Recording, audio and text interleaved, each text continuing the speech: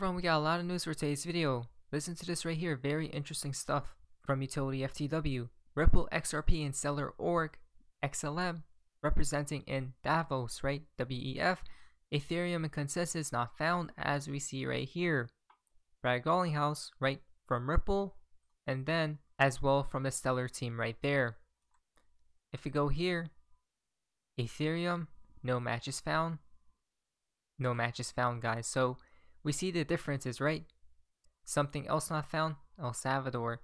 Again, what wins at the, what wins at the end, guys? What wins at the end? Right? These ISO coins, to say the least. Now, look at this. A lot of CBDC talk, right, from the WEF. And this is exactly where XRP comes in. A neutral, decentralized, and extremely efficient currency that can also act as a bridge between two government issued currencies that carry counterparty risk. CBDCs could also simplify and reduce the cost of payments and remittances while forming the basis for more efficient, more secure interbank payments networks. However, in order to improve cross border payments and remittances, more is needed to be done. Imagine the Fed accepting China's CBDC, or the opposite. This is never going to happen.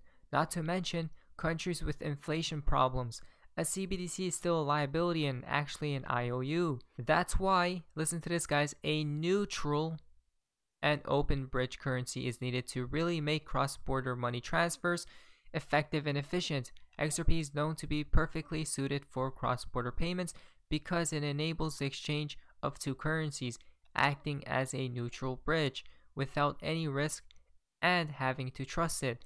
And all these in seconds and without the need of banks to hold foreign currencies and nostro vostro accounts, right?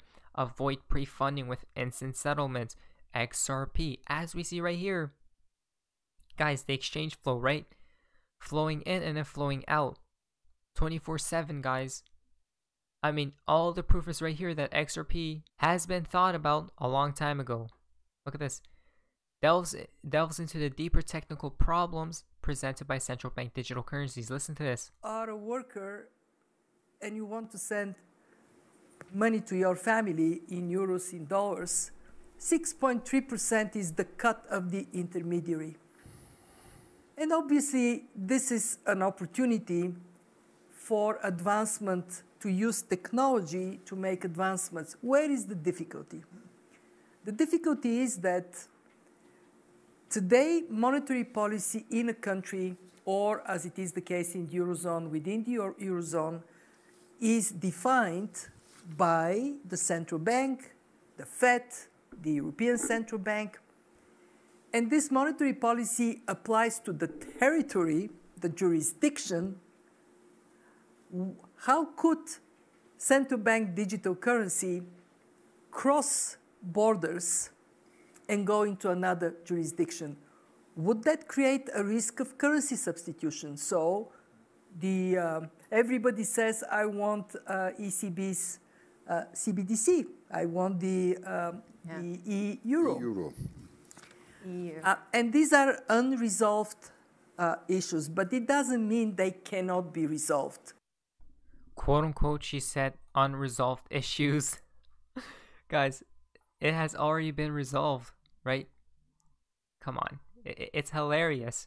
Blockworks to tweet out MasterCard CEO Swift, the international interbank messaging system, won't exist in five years' time. Oh, wouldn't you say so? Right? Swift equal past, RippleNet equal future, XRP the greatest digital asset for payments, as we see right here. What we are doing and executing on a day to day or day by day basis is, in fact, taking over Swift. Guys, there we go. We see the proof, right? We did not make these things up. Listen to this right here. What is ISO 222, right? Is what is ISO 20022? Essentially, it is the newest standard for payments in the banking system. Uh, the banking system previously used SWIFT, uh, which was very slow.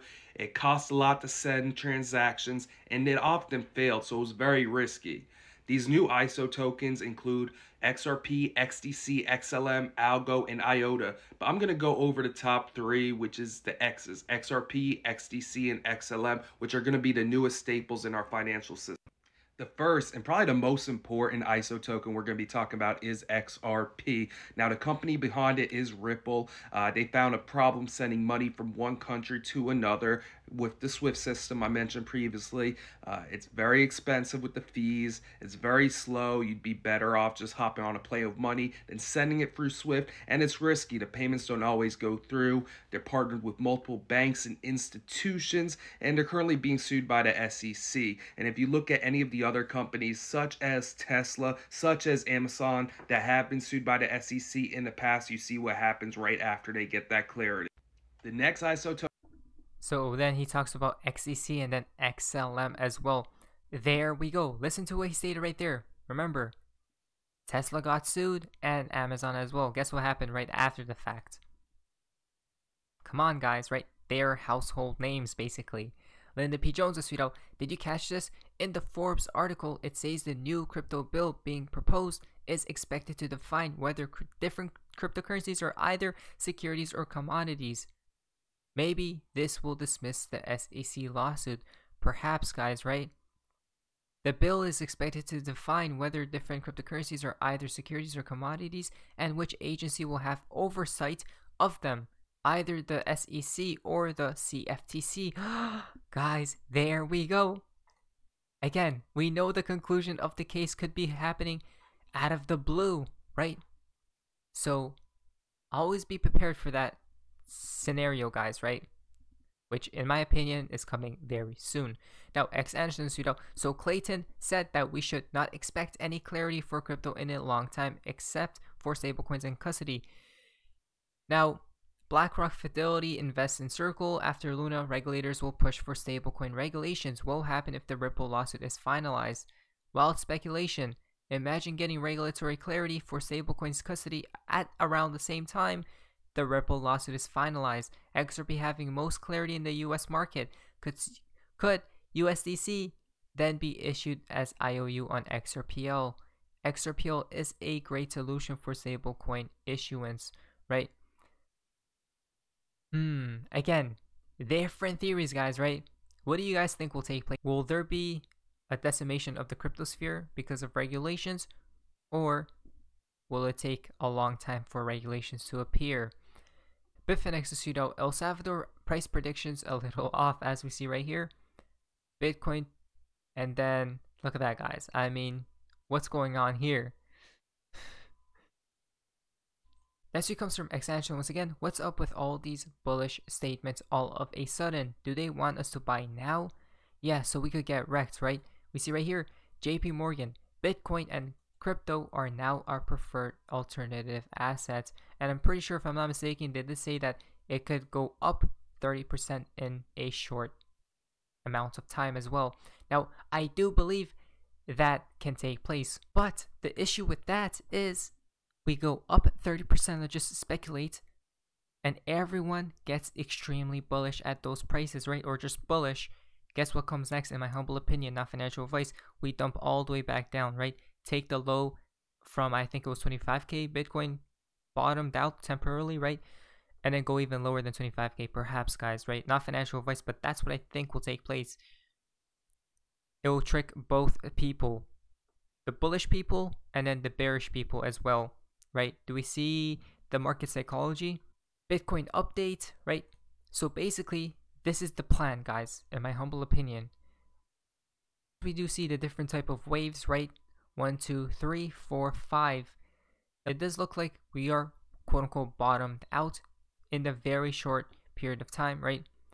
But it does seem like we should be going back up, and that's where JP Morgan probably knows what's upcoming. We go back up and then we probably fall all the way back down, right? Create a new bottom, which should in fact be the the bottom, right? Now, DOI investing is video. Don't forget DXY. So basically, what's going to take place? Are we going to blast through this resistance with the DXY, or are we going to fall back down?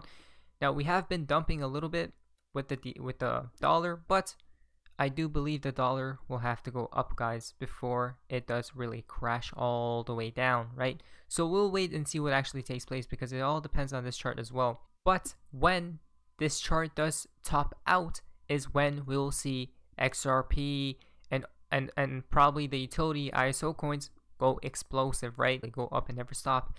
But anyways, guys, so if you guys enjoyed this video, if you guys please leave a like, so I have some pretty you amazing day, and guys, see ya.